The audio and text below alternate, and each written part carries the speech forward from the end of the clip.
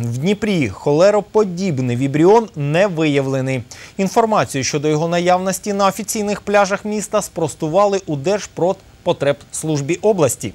Бактерію знайшли тільки на одному пляжі Кривого Рогу, проте вона не патогенна, тобто саму холеру не викликає.